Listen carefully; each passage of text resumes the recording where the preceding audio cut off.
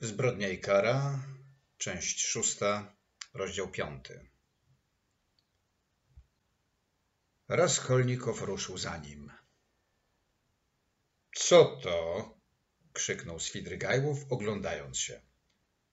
Czyż nie powiedziałem? Co to znaczy? To znaczy, że teraz od pana nie odejdę. Co? Obaj przystanęli i chwilę patrzyli na siebie, jakby mierząc się wzrokiem.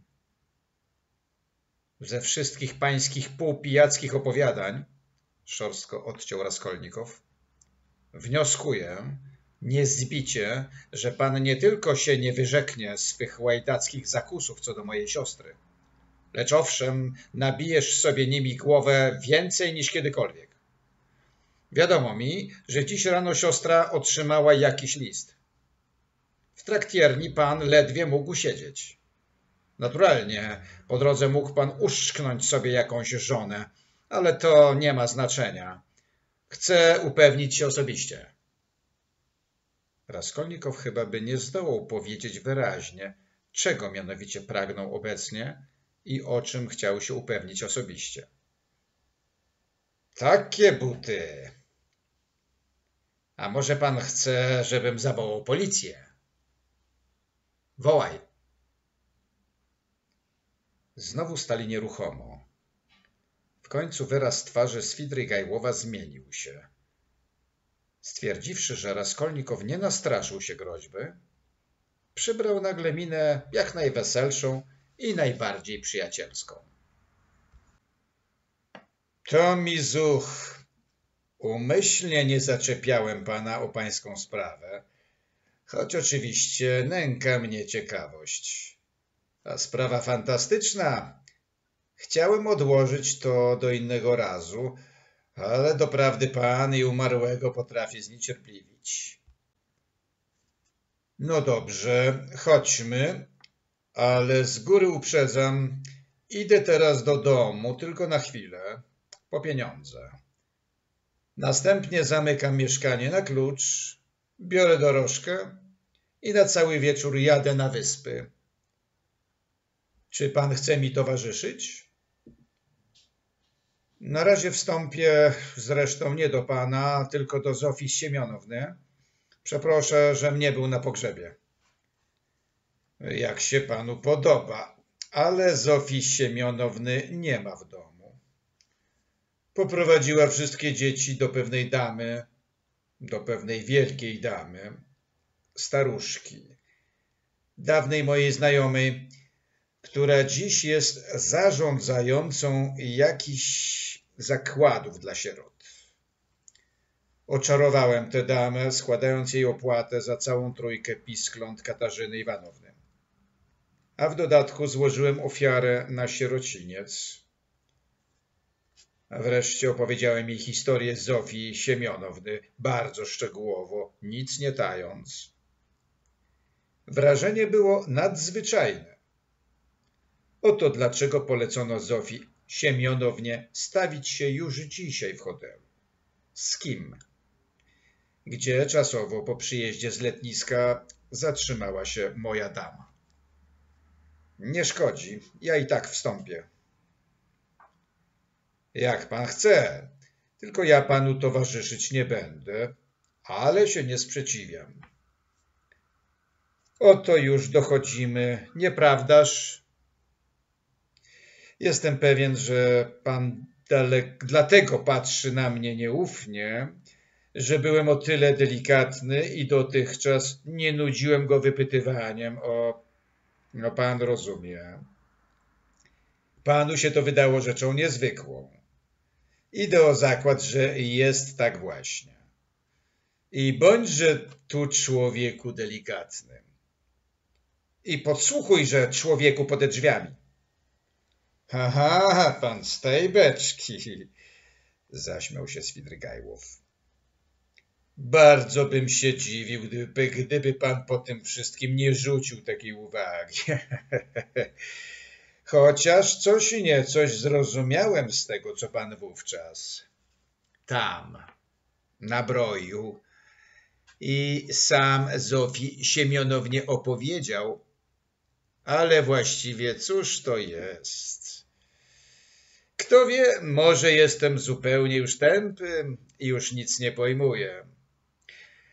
Mój złoty, wytłumacz mi to, oświeć mnie, wyłóż mi najnowsze zasady. Nic pan nie mógł słyszeć, kłamie pan i basta. Ależ ja nie o tym, nie o tym, choć to i owo słyszałem. Nie, ja tylko o tym, że pan wciąż och i ach. Raz po raz gorszy się w panu Schiller. Powiada pan, nie podsłuchiwać pode drzwiami. Skoro tak, to idź pan teraz na policję, że oto przytrafił mi się taki kazus, zaszła malutka pomyłka w teorii. Skoro zaś pan przekonany, że pode drzwiami podsłuchiwać nie wolno, natomiast wolno grzać staruszki po łbie, czym popadło, ile dusza zapragnie, to niechże pan czym prędzej wyjeżdża gdzieś do Ameryki. Uciekaj, młodzieńcze, może jeszcze zdążysz. Mówię ze szczerego serca. Może brak forsy? Dam na drogę. Wcale o tym nie myślę, przerwał Raskolnikow z obrzydzeniem. Rozumiem. Niech się pan zresztą nie fatyguje. Proszę dużo nie mówić, jeśli nie ma pan ochoty. Rozumiem, jakie zaprzątają pana zagadnienia. Moralne, prawda? Problemy człowieka i obywatela. E, pal je sześć. Co ci teraz po nich? He, że niby w dalszym ciągu jest się człowiekiem i obywatelem. W takim razie nie należało próbować. Nie trzeba róść, gdzie nas nie posiano. Ha, zastrzel się pan, co? Nie bardzo się chce. Rozmyślnie usiłuje mnie pan rozjątrzyć, żebym się teraz odczepił. Cudak z pana. Przecież już przyszliśmy. Bardzo proszę na schody. Widzi pan, tu wejście do Zofii Siemionowny. Proszę patrzeć, nie ma nikogo. Pan nie wierzy? Zapyta jej Kapernaumowa. Ona u nich zostawia klucz. A, oto i sama Madame de Kapernaumów. Co? He, jest trochę głuchawa. Wyszła? Dokąd? No, teraz pan słyszał. Nie ma jej, a wróci być może późnym dopiero wieczorem. Ślicznie. Chodźmy teraz do mnie. Pan przecie chciał i mnie odwiedzić. Otóż jesteśmy u mnie. Madame Rezlich nie ma w domu. Ta kobieta ma wiecznie kłopoty, lecz to dobra kobieta, proszę mi wierzyć. Może kiedyś przyda się panu, jeśli pan będzie choć odrobinę rozsądniejszy. Otóż widzi pan, biorę z biurka te 5% obligację. Mam ich jeszcze sporo. Która dziś pójdzie do wekslarza? No, widział pan? Teraz już nie mam więcej czasu. Zamykamy biurko, zamykamy mieszkanie i oto znów jesteśmy na schodach. Chce pan? Weźmiemy dorożkę, bo ja na wyspy. Przejedziemy się, dobrze? Biorę ten oto powozik i jedziemy na Jełagin. Co? Pan odmawia? Nie wytrzymał pan. Hehehe, przejdźmy się. Zdaje się, będzie deszcz, ale to nic, spuścimy budę. Swidrygajów już siedział w powozie. Raskolnikow doszedł do wniosku, że jego podejrzenia, przynajmniej w tej chwili, są nieuzasadnione. Nie odpowiadając ani słowa, zawrócił i ruszył z powrotem w kierunku placu siennego. Gdyby się choć raz obejrzał, zdążyłby zobaczyć, że Swidrygajłow ujechawszy najwyżej sto kroków zapłacił dorożkarzowi i wyskoczył na chodnik. Lecz już nie mógł nic widzieć, bo skręcił za róg. Głęboka odraza gnała go precz od Swidrygajłowa. Że też mogłem bodaj przez chwilę czegoś oczekiwać od tego wulgarnego nisponia, tego rozpasanego lubieżnika i szuj, zawołał mimowoli. Co prawda ten sąd Raskolnikowa był nazbyt pochopny i lekkomyślny. W całej atmosferze otaczającej Swidrygajłowa było jednak coś, co go choć trochę czyniło oryginalniejszym, jeżeli nie tajemniczym. Co się zaś tyczy Duni, to Raskolnikow nadal był przekonany, że Swidrygajłow nie zostawi jej w spokoju. Ale zbyt już ciężko i nieznośnie mu było wciąż o tym myśleć. Swoim zwyczajem, gdy pozostał sam, już po dwudziestu krokach wpadł w głęboką zadumę. Wszedłszy na most, zatrzymał się u balustrady i zaczął patrzeć w wodę. A tymczasem za nim stanęła Awdotia Romanowna. Spotkał ją u wstępu na most, lecz nie poznał i wyminął ją. Dunieczka jeszcze nigdy nie widziała go na ulicy takiego i była zdumiona, prawie przestraszona. Stanęła nie wiedząc sama, wołać go czy nie. Nagle spostrzegła Swidrygajłowa, który pośpiesznie szedł od placu siennego. Zdawał się jednak iść potajemnie i ostrożnie. Nie wszedł na most, lecz zatrzymał się z boku na chodniku, dokładając wszelkich starań, by go Raskolnikow nie zobaczył.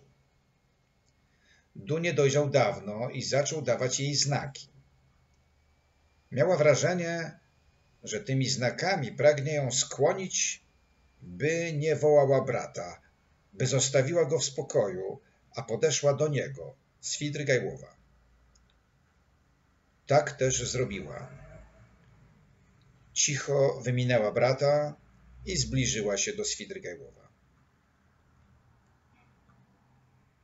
Chodźmy prędzej, szepnął. Nie chcę, żeby Rodion Romanycz wiedział o naszym spotkaniu. Ostrzegam, że siedziałem tu z nim nieopodal w traktierni, gdzie sam mnie odszukał i ledwie się go pozbyłem. Wie skąd o moim liście do pani i coś podejrzewa. Chyba nie pani mu to wyjaśniła. A skoro nie pani, to któż? Już skręciliśmy za róg, przerwała Dunia. Rodion nie może nas teraz zobaczyć. Oświadczam, że dalej z panem nie pójdę. Proszę mi wszystko powiedzieć tutaj. Wszystko to można powiedzieć i na ulicy. Po pierwsze, tego żadną miarą nie można powiedzieć na ulicy. Powtórę, musi pani wysłuchać również Zofię Siemionownę. Po trzecie, pokaże pani niektóre dowody. Słowem, jeśli się pani nie zgodzi wstąpić do mnie, odmawiam wszelkich wyjaśnień i natychmiast odchodzę.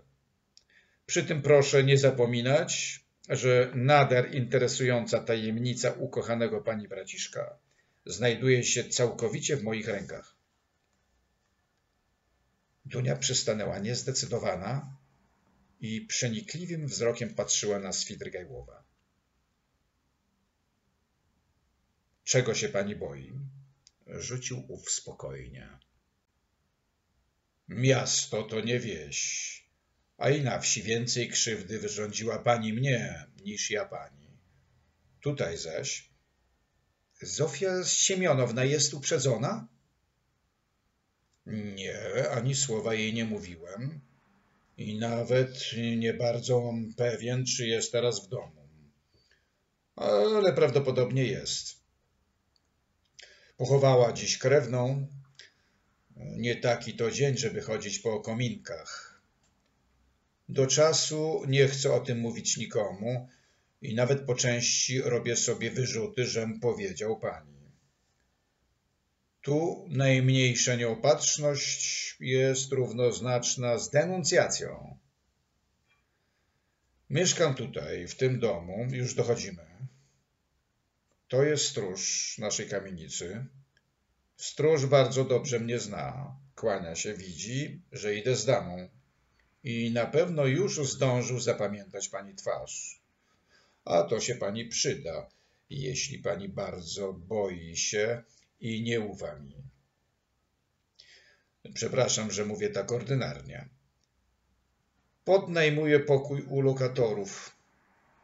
Zofia Siemionowna mieszka o ścianę, także jako sublokatorka. Całe piętro jest zajęte przez lokatorów. Czego ma się pani bać, jak dziecko? Czyż aż taki jestem straszny?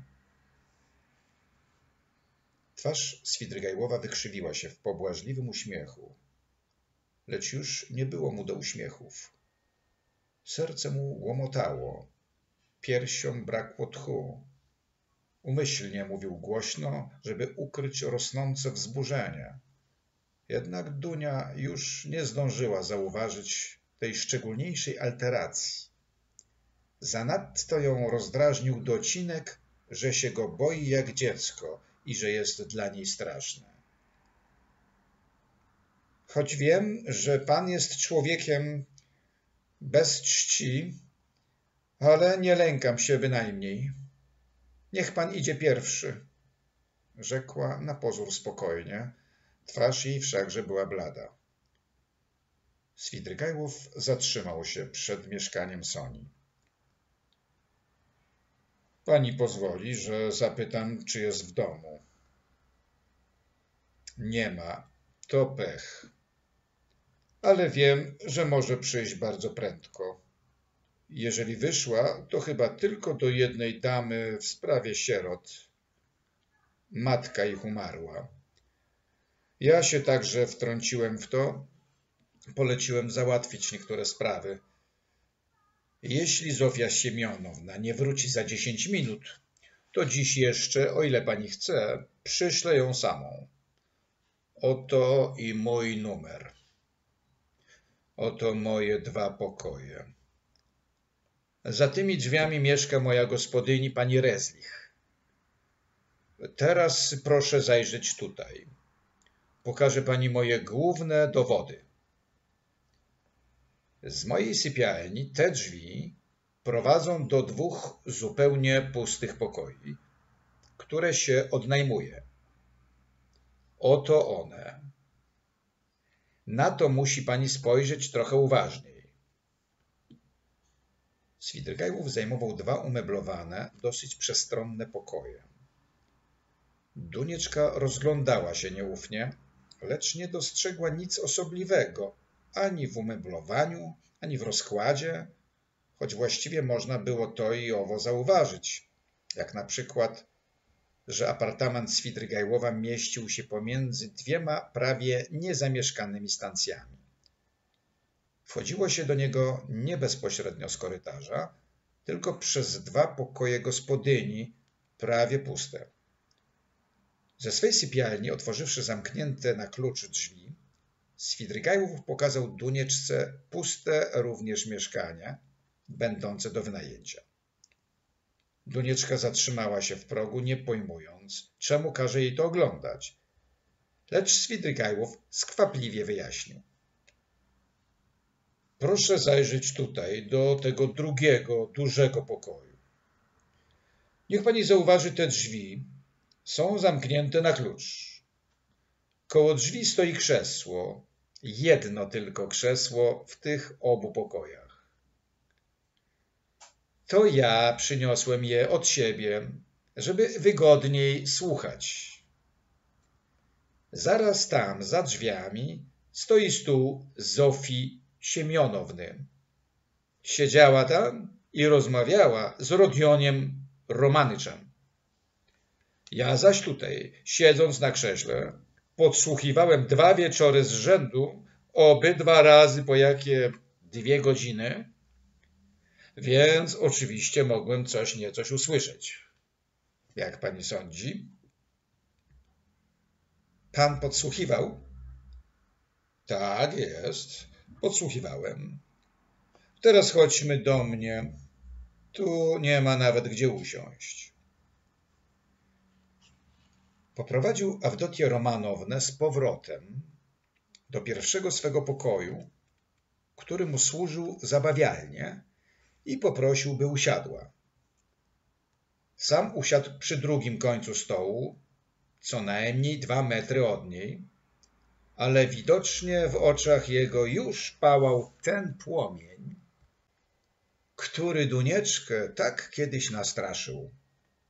Drgnęła i raz jeszcze rozejrzała się nieufnie. Był to odruch mimowolny. Nie chciała zdradzić się ze swym niedowierzaniem. Lecz na koniec zdała sobie sprawę z odosobnienia apartamentu Swidrygajłowa. Miała ochotę zapytać, czy przynajmniej gospodyni jego jest w domu. Nie spytała jednak z dumy. Przy tym miała na sercu inne, nierównie większe cierpienie niźli strach o siebie. Przechodziła nieznośną mękę. Oto pański list, rzekła kładąc arkusik na stole. Czyż możliwe jest, co pan pisze? Napomyka pan o zbrodni, którą rzekomo popełnił mój brat. Napomknienia są zbyt wyraźne. Nie ma pan prawa teraz się wyprzeć. Otóż wiedz pan, że już i przedtem słyszałam tę głupią bajkę i nie wierzę ani jednemu słówku. Jest to haniebne i śmieszne podejrzenie. Znam tę historię, wiem jak i skąd powstała. Nie może pan mieć żadnych dowodów. Pan obiecał mi dowieść, więc proszę mówić. Ale z góry zapowiadam, że panu nie wierzę. Nie wierzę! Donieczka powiedziała to prędko, pośpiesznie i na mgnienie twarz jej oblała się rumieńcem. Gdyby pani nie wierzyła, to jakim cudem zaryzykowałaby pani przyjść do mnie sama? Po cóż pani przyszła? Wyłącznie z ciekawości? Proszę mnie nie dręczyć, mów pan, mów. Niepodobna zaprzeczyć, że dzielna z pani dziewczyna, jak Boga kocham. Myślałem, że pani poprosi pana Razumichina o towarzyszenie jej tutaj. Jednak nie było go ani z panią, ani w pobliżu. Dobrze patrzałem. Tak, to odwaga. Widocznie chciała pani oszczędzić brata. Zresztą wszystko w pani jest boskie. E, co zaś się tyczy Rodiona Romanycza, cóż mam powiedzieć? Widziała go pani przed chwilą sama. Ładnie wygląda, co? Chyba nie na tym jednym pan buduje. Nie, nie na tym. Na własnych jego słowach. Dwa wieczory z rzędu przychodził tutaj do Zofii Siemionowny. Pokazywałem pani, gdzie siedzieli. Opowiedział jej wszystko w całej rozciągłości. Jest mordercą. Zamordował staruszkę, wdowę po urzędniku, lichwiarkę, u której sam zastawiał rzeczy. Zamordował także jej siostrę, handlarkę, niejaką Lizawietę, która niespodzianie weszła podczas zabójstwa siostry. Zabił je obie siekierą, którą z sobą przyniósł. Zabił w celu rabunku, jakoż obrabował. Zabrał pieniądze i niektóre rzeczy. Sam dosłownie oświadczył to wszystko. Zofii Siemionownie, która też jedna zna ten sekret, ale w zabójstwie nie brała udziału ani słowem, ani uczynkiem. Odwrotnie przeraziła się tak samo jak pani teraz. Może pani być spokojna, ona go nie wyda. To być nie może. Mamrotała Dunieczka bladymi, zmartwiałymi ustami. Nie mogła tchu złapać.